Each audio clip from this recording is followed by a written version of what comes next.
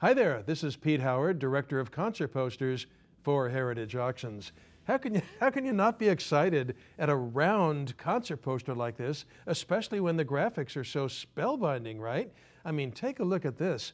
No less than the Doors in the spring of 1967 in the heart of Hollywood, California, on the Sunset Strip in the Kaleidoscope Club. Oh, boy, this is such a special poster. You've probably seen kaleidoscopes before if you're watching this blog, but if you're not, you're thinking, wow, they really do that? Yeah, they really did it. And this is the only series of circular concert posters ever made, basically in the psychedelic era. And I can't even think of a single round psychedelic, or let's put it this way, single round concert poster of any kind that I've seen. There must be one once in a while. But, you know, the Kaleidoscope Club was really known for these, and they are simply simply the coolest. And you know, it's you might say to yourself, oh, how do you frame it? Well, they're highly frameable. I've seen um, circular kaleidoscopes in a frame, both matted with a round matting and unmatted, you know, with just a nice backdrop, and they look great. They look great. They're just so charismatic already with that shape. They're just like a winner right out of the gate.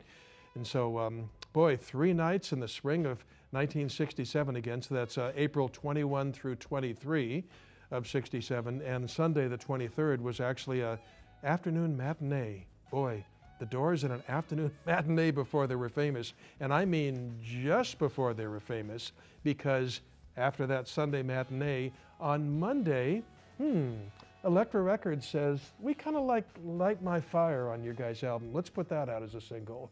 That's right. On Monday, Light My Fire was released as a single and they'd never be the same. You know, they, they, they changed pop history after that, rock history, whatever. And so to think that this is their last concert poster before the world started to find out who the Doors were. And it's amazing that it's such a gorgeous poster when they were still, we have to say, unknown. I mean, so you're thinking, well, wait a minute, their album, their first album is great. It's an AOR classic. Where was that? Top 10? Uh, no, it was at number 123 on Billboard's album chart at the time that this weekend shows. So that, you know, it just demonstrates the doors were just on the launching pad, right? Ready to blow up. And what a gorgeous piece to be at that point. Wow, I just can't get over it. Take a look at these graphics. I mean, you've got blue and lavender print on this hot, shocking pink background. Wow. I mean, the expense of doing this and then the psychedelic lettering all over it. Isn't that fun? You got the doors right up there at the top, you know, and you have to like you look at a lot of this lettering to really know exactly what it says. And right below the doors, you've got the UFO. I think they were just, you know, known as UFO, but you know, poster artists would do that sometimes, put a the there. And then the peanut butter conspiracy off to the right. And what's sort of surprising and interesting is that the artist even, you know, included images of the peanut butter conspiracy as the second billed band. So that's pretty crazy. But I'll tell you, this Doors imagery, all printed in, in lavender, just take a look at that. You've got Jim Morrison right there in the middle with that, you know, his um, unmistakable lips, you could say, and his nose. Um, the rest of them is a little bit hidden. Off to the left, Ray Manzarek with those trademark glasses. You can't miss those for sure. And then, of course, off to the right, you've got Robbie Krieger and John Densmore. And I like the way the Kaleidoscope Club just like arches around underneath two of the chins. Just really a lot of really fun psychedelic lettering on this. And number two, see that number two under the there?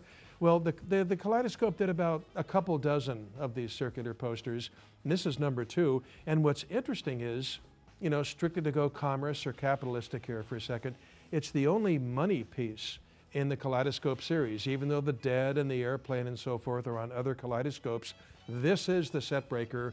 This is the, you know, the big one that everybody wants and is the scarcest, the rarest. Um, and uh, it's, um, you know, it's, I, I, mean, we got like, uh, we, we haven't sold it in my tenure here uh, at Heritage, which is now five and a half years. So we've had it twice before in our history, and the last time was $8,000. But that was a good number of years ago. So, whew, so the Kaleidoscope Club, by the way, was a name, not a building. And so the promoter who had the Kaleidoscope would had to use a couple of different venues during those two dozen, you know, posters that he did. And what's killer is that this, on this occasion, it even says so on the poster, the venue was Ciro's on the Sunset Strip. That was one hot place. A lot of mid 60s Los Angeles rock history happened there. In fact, on one of the Byrds albums, on the back it shows a picture of no less than Bob Dylan on stage with the Byrds um, uh, taken at Ciro's. So that's really a jump in place it was, and so that's really nice. So now um, I've crowed about the colors on this poster and the hot pink background and everything, but uh, wait till you get a load of this surprise. And oh my goodness, really? Look at that. Wow, it's like a explosive orange under a purple blacklight. Boy, if that wouldn't look great in a psychedelic music pad or something with a purple tube blacklight, I don't know what would. Just a marvelous, marvelous element of this poster. So that, if that's not a cherry on the cake, I don't know what that definition means. Just awesome coloring on this thing. Holy cat. So, ah, once again, a gem from the David Schwartz Concert Poster Collection. And David's specific auction takes place on Tuesday, December 3rd. And on either side of him is music memorabilia on the second, regular concert posters on the fourth, but David's fantastic collection. This auction's installment is on Tuesday, December 3rd. And to uh, read all about it and see more pictures, just go to ha.com slash 7383.